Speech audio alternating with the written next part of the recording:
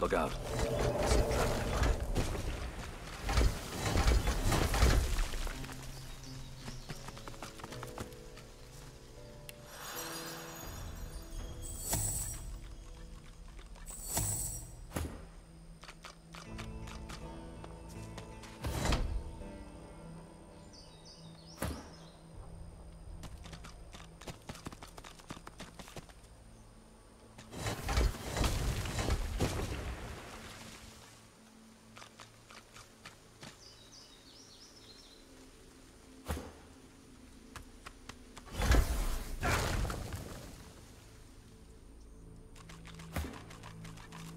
These skulls crumble to dust after one use.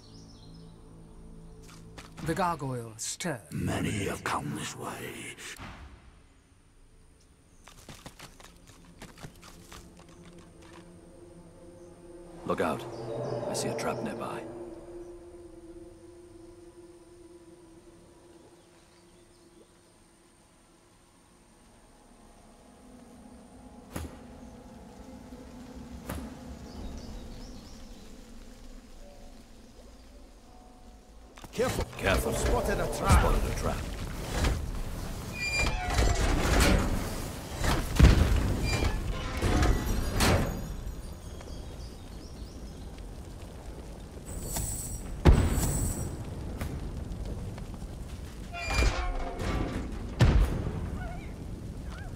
Careful now.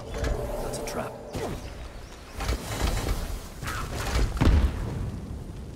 Look out. I see a trap nearby.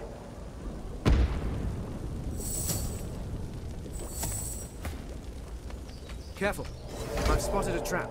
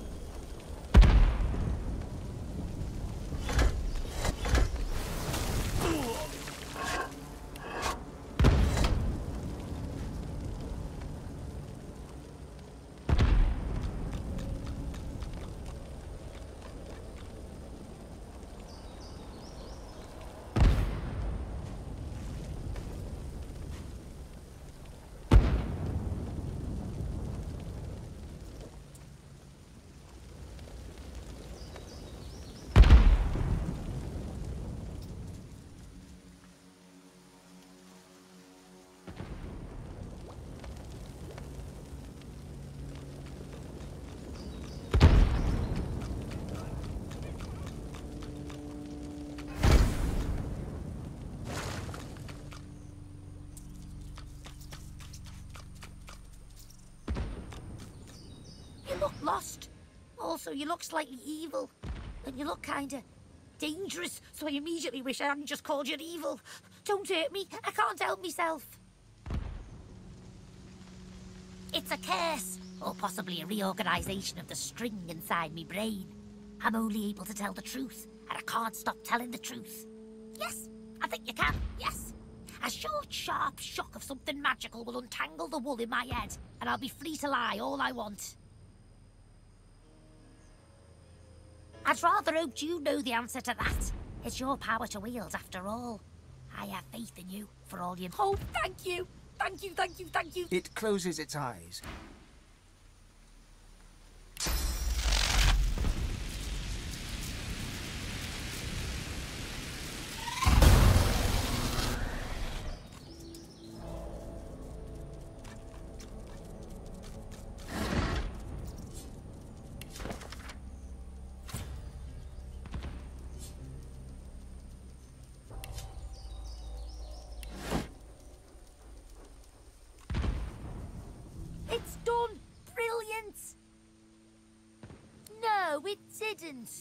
The rat gives you a mischievous look, holds it for a long moment, then Ah! See? It totally worked! I can lie again.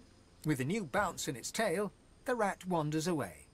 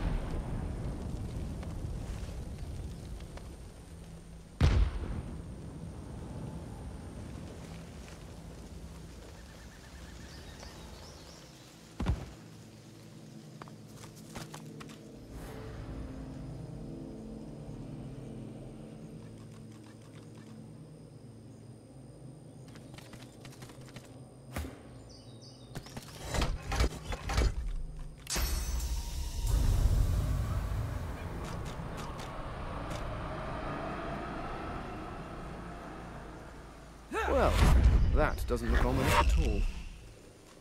Why do I get the feeling we'll be on the other side of it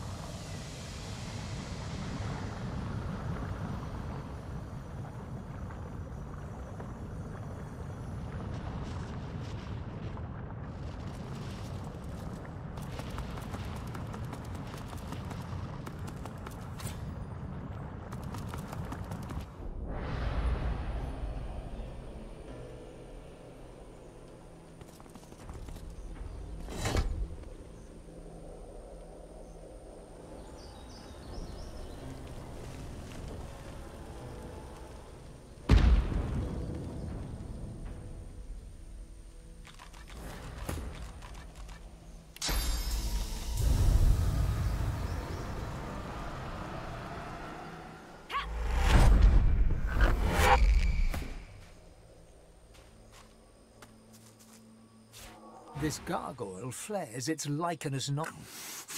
Master would be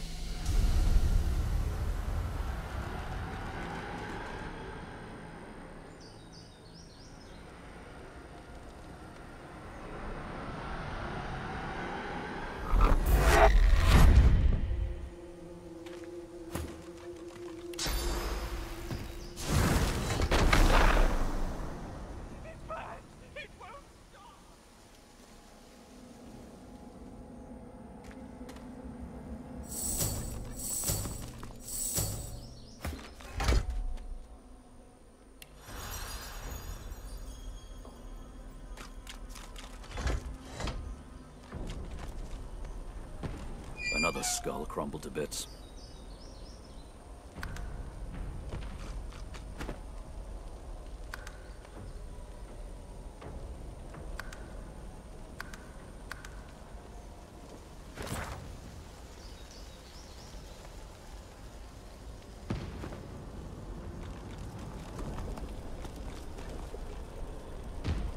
The gargoyle taps one stony claw upon its plinth. Riddle me this, wanderer. How would mighty Braccus douse a man on fire?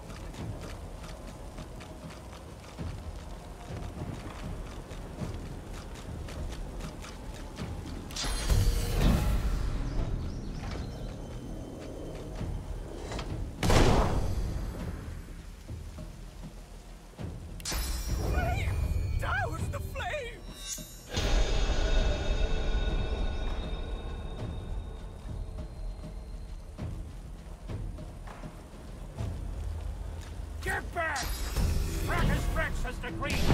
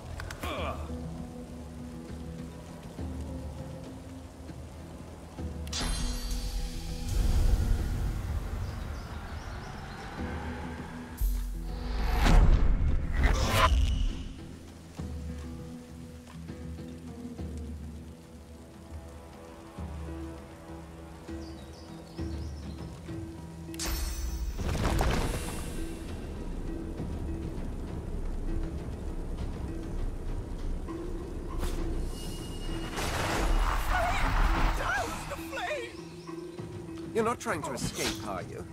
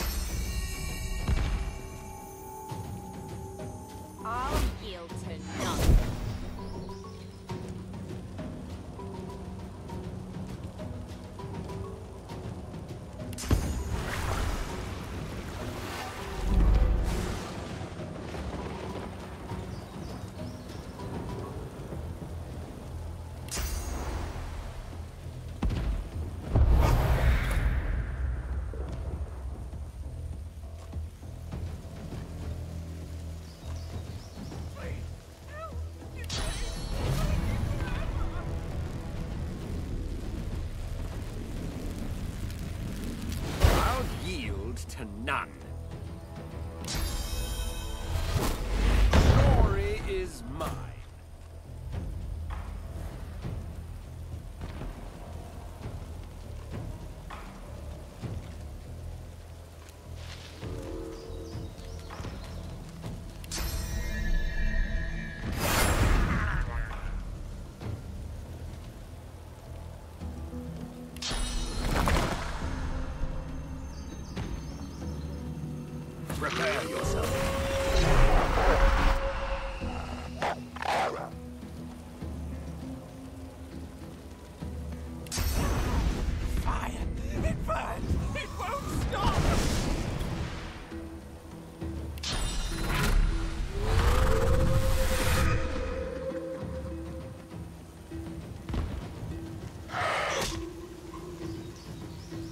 right where I want you.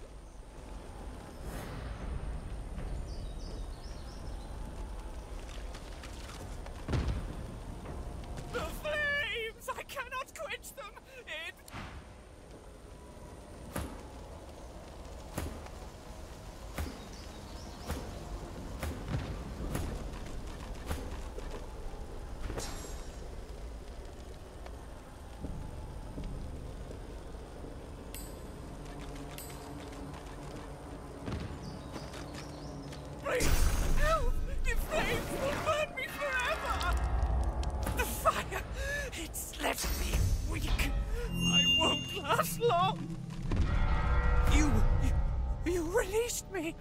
Oh, long have I waited for this moment. A dry, rattling laugh rises from the figure's ancient gullet. This, this was a reward for doing my duty, for fulfilling the wishes of one Braccus Rex. Do you know that name? The figure nods grimly. He did terrible things while trying to master Source, bend it to his will. I had a part in this, I must admit. Perhaps I deserve the flames. No, no, I was a scholar, a librarian. Braccus sought the secrets of Source, but he had no patience for sifting through ancient scrolls and tablets. I unearthed knowledge of a great power within those texts, a great and terrible power, one that Braccus coveted above all. The figure slowly shakes his head. I will not say. I spoke of it once and was damned to eternal hellfire for it. Were I to speak of it again, I could damn the whole world. Braccus must have failed. Had he not, the world as you know it would be gone. What I learned of could still be out there. I will not speak of it. I won't risk having another Braccus discovering it.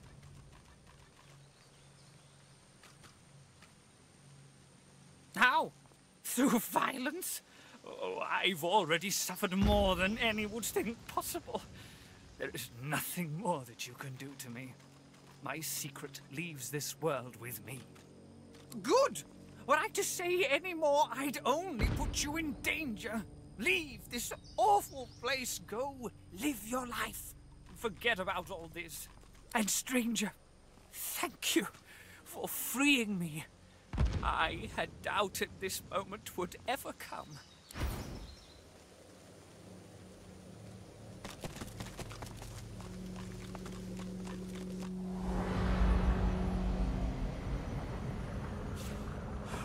This again.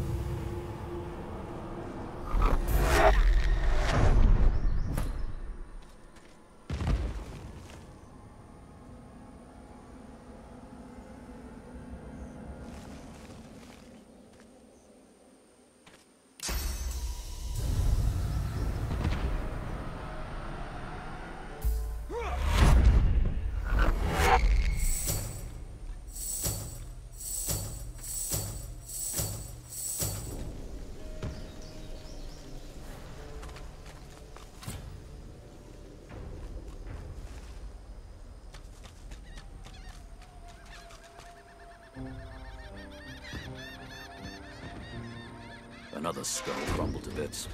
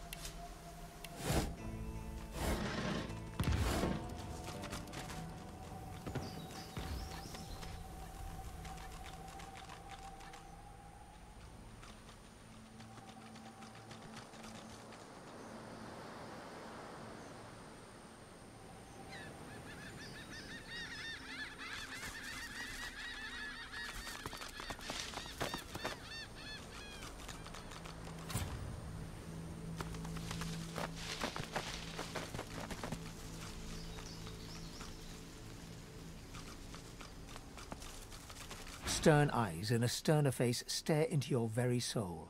Under the inescapable gaze, you begin to shiver uncontrollably. Another crawling rat, tracking your stinking paws beneath my nose. Vermin are not tolerated in my house. Begone! Do not doubt my power. I merely wish you gone. You are gone. Begone!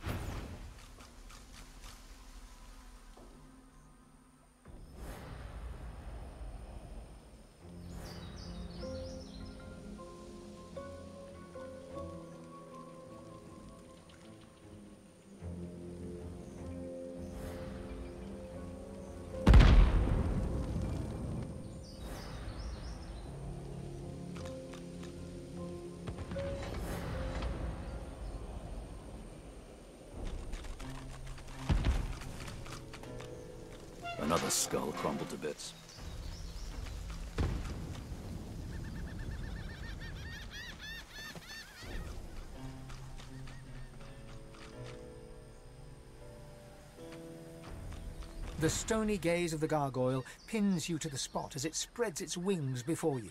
You. You have earned your reward.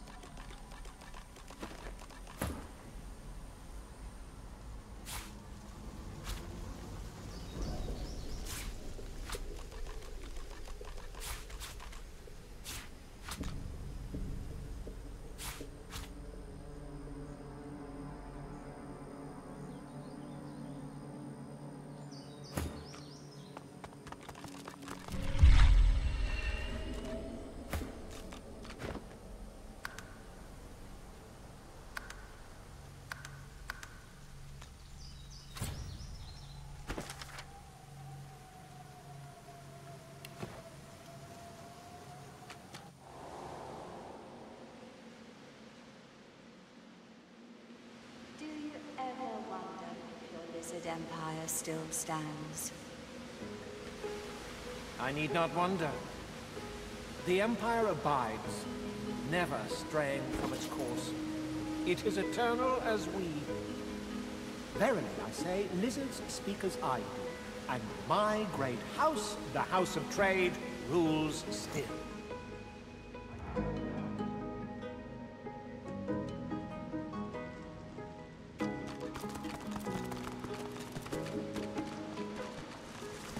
As enter the room, you see three skeletons sitting around a table, cards in hand.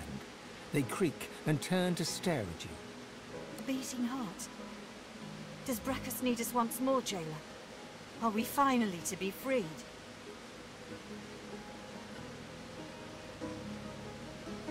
You're not one of Braccus's brood. You're not Gratiana's pet. Then why do you disturb us? The flesh yearns for our secrets. Did I not say that word would spread our genius? Even after the maggots took your tongue, you still talk too much. Silence your jaw.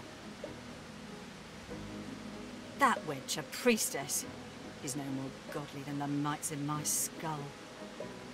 I've never seen a more treacherous smile than on her full, voluptuous lips. Canst thou think of nothing else? How many centuries have I endured hearing you remember your conquests? Hey, at least I didn't have to raise mine. That was naught but a whisper on the wind. A vile rumor.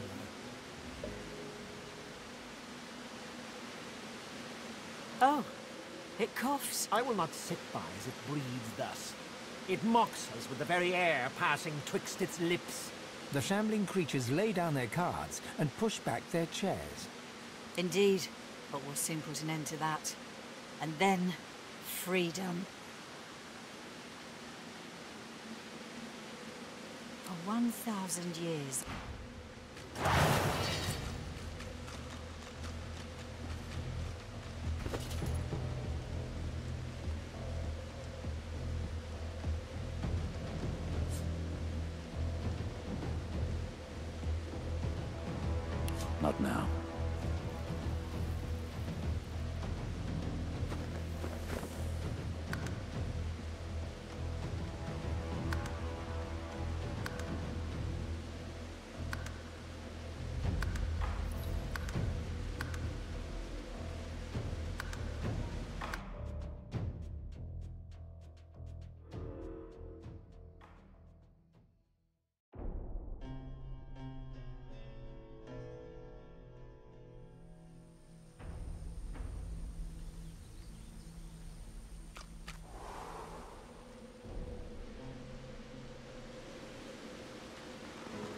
Got any fives?